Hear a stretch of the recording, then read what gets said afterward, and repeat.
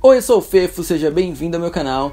E a gente sabe que tem idols de K-pop que são extremamente talentosos em tudo que eles fazem. Cantam, dançam, produzem, compõem, atuam, fazem absolutamente de tudo. E eu queria fazer um vídeo pra gente conhecer mais as idols de K-pop que também compõem músicas, que também são compositoras. Esse vídeo foi inspirado pela Soyeon do Idol, que tem produzido tanto as músicas do Idol quanto músicas do CLC, e ela é uma rainha maravilhosa. Então eu quis trazer para vocês mais idols que também trabalham nisso, que compõem tanto para seus próprios grupos ou para suas próprias carreiras, quanto também para outros grupos e outros artistas. Antes da gente começar a falar sobre esse vídeo, não esquece de já deixar o seu like aqui, se inscrever no meu canal se você for novo por aqui e me seguir lá nas redes sociais, ok? Como eu falei, esse vídeo é inspirado pela Soyeon do Idol, ela tá bem em evidência agora, não não vou falar muito sobre ela aqui no vídeo, a gente vai focar mais em falar sobre as outras idols, ok? Temos a Lee, do EXID, e ela produz músicas não só para o próprio grupo, como também para outros artistas, como por exemplo para Troublemaker, que ela produziu Now e Troublemaker.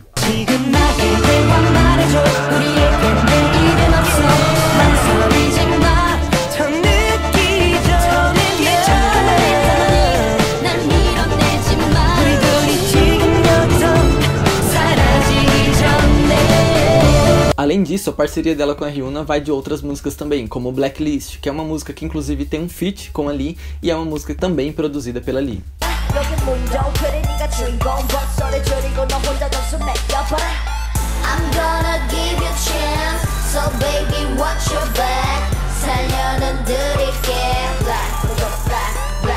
Como eu falei, ela produz bastante pro EXID. Vários singles do EXID, eu não sei se todos, mas acho que praticamente todos, são produzidos tem a mão dali na composição. Mas além disso, ela também compõe e produz para outros grupos e outros artistas. Ela já fez You're Pitiful, do Fiesta.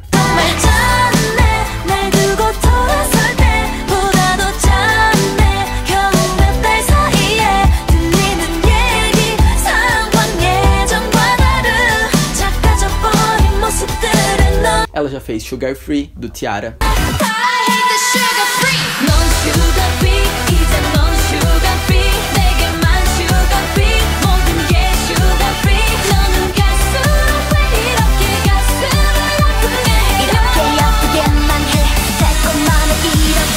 Ela já fez Talk That do Secret.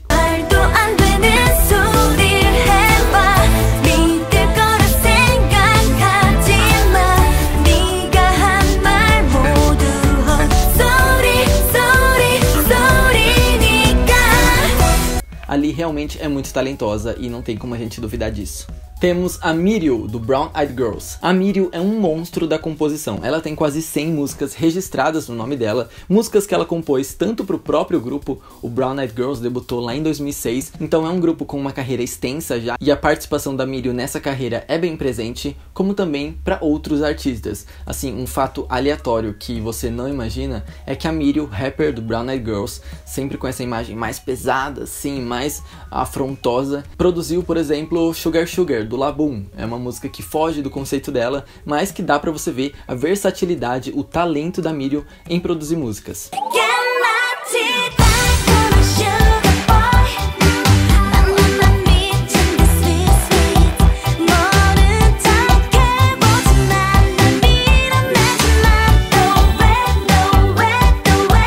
Dentro do Brown Eyed Girls, a Mirio tem uma mão na composição de singles muito famosos, como Abracadabra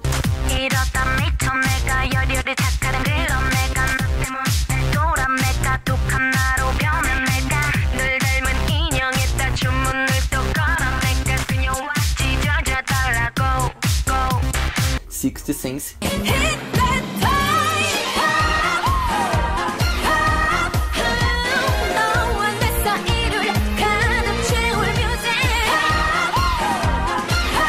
E Kill Bill.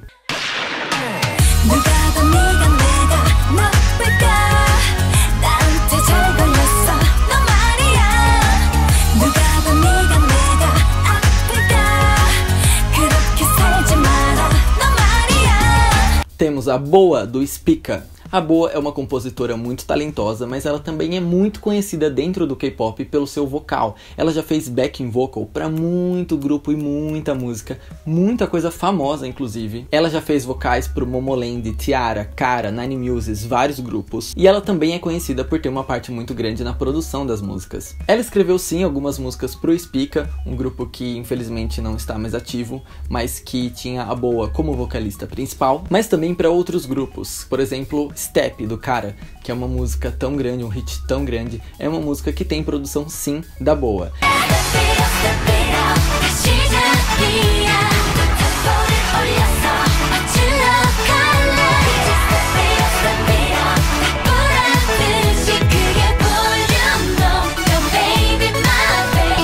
Ela também escreveu para vários grupos dentro da DSP, fora o cara, como April e Rainbow. É claro que quando eu falo que um artista compôs e produz a música, é muito difícil eu estar falando sobre o fato dele ter feito isso sozinho.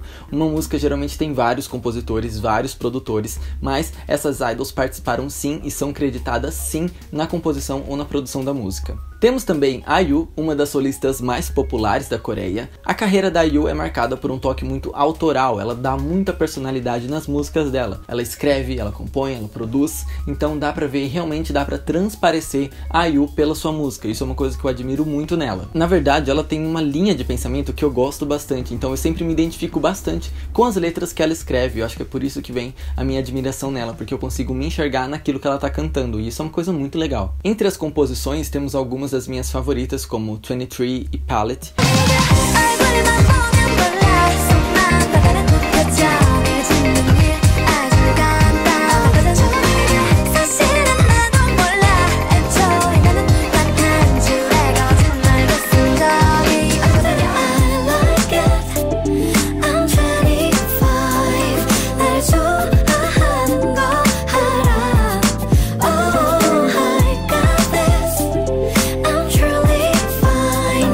Músicas onde ela fala sobre ela mesma, sobre se descobrir ou sobre se perder. Quem ela é agora, nem ela sabe, ela ainda tá nessa loucura, nessa confusão que é a vida, nesse mundo doido. E ela é só uma pessoa tentando se encontrar no meio de tudo isso.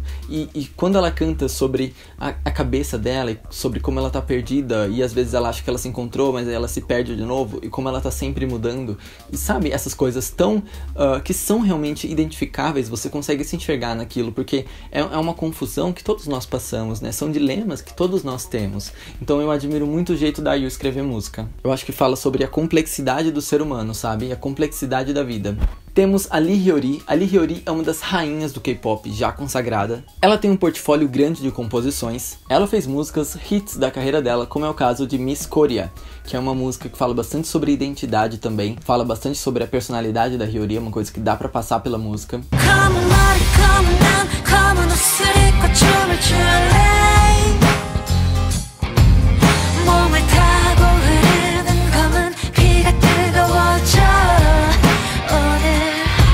Mas ela também já compôs para outros artistas, como é o caso inclusive do Spica, da Boa, que a gente falou um pouquinho atrás. Spica era da mesma empresa da Lihiori, por isso elas dividiam bastante é, esse trabalho por trás das câmeras.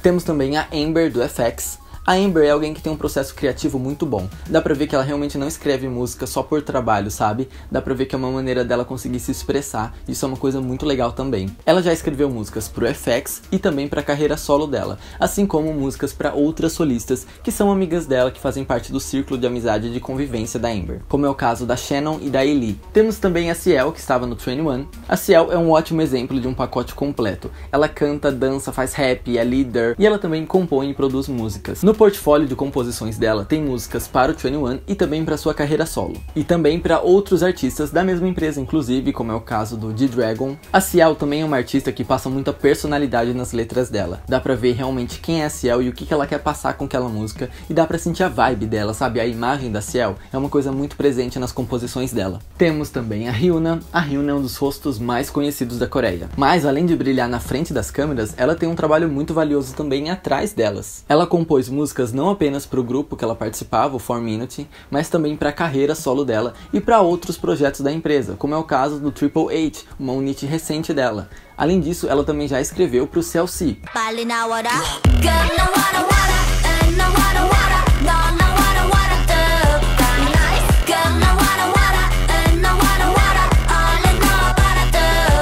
Temos a X do Cosmic Girls. O que eu gosto na X é que ela é uma idol com um debut relativamente recente, mas que ela já tem um histórico grande no background, nas composições, nas produções dela. Ela tem mais de 30 músicas no portfólio dela de composições, incluindo músicas do Cosmic Girls, desde o debut delas com Momomo, a X já escrevia, já produzia músicas, e isso vem desde então. Eu acho legal também que a Starship já deu essa carta verde para ela lá no começo da carreira, assim como a Cube tá fazendo agora com a Soyeon, que já começou produzindo para Idol e para outros artistas. É legal que a X também mostra essa versatilidade e esse talento desde cedo, então eu admiro muito isso nela. Temos também a Jimin, nossa querida rapper do AOA. A Jimin também escreveu músicas para o grupo, para sua carreira solo e para suas parcerias. O que eu gosto nas composições da Jimin é que ela tem uma imagem muito forte, ela tem essa coisa de atitude, de rapper e tal, e a gente acha que isso de alguma maneira vai ficar marcado nas composições dela, mas não é o que acontece. Ela tem um talento muito versátil que permite ela escrever e produzir qualquer tipo de música, inclusive músicas lentas, músicas mais emocionais, músicas que é, diferem daquela imagem pública da Jimin que a gente conhece é mais para de mim ser humano que existe atrás de uma idol. Então eu gosto muito de como ela coloca esses sentimentos dela dentro da composição.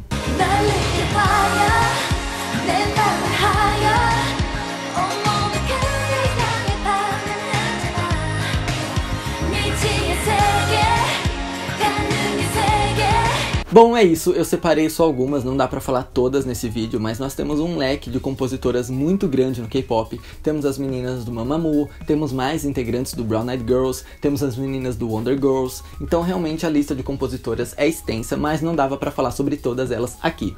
Eu espero que vocês tenham gostado desse vídeo até aqui. Se você gostou, deixe seu like. Comenta aqui quais dessas idols você sabia que escreviam e qual te surpreendeu, quais músicas vocês gostam, quais músicas vocês não se identificam. Deixa tudo aqui nos comentários pra gente poder ter um espaço para conversa. Se inscreve no meu canal se você for novo por aqui, vai me seguir nas minhas redes sociais, Twitter e Instagram, e a gente se vê no meu próximo vídeo. Tchau, beijo!